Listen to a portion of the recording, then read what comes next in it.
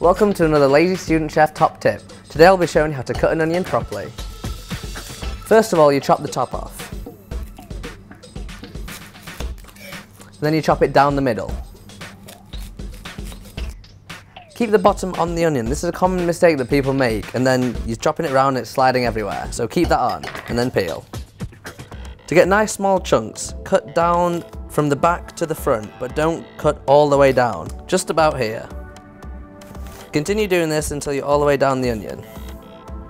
Next, cut down the centre, about halfway down from the bottom of the top of the onion. Like that.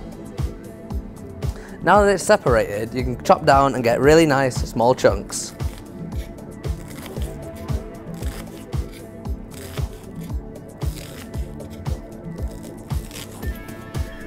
Ta-da!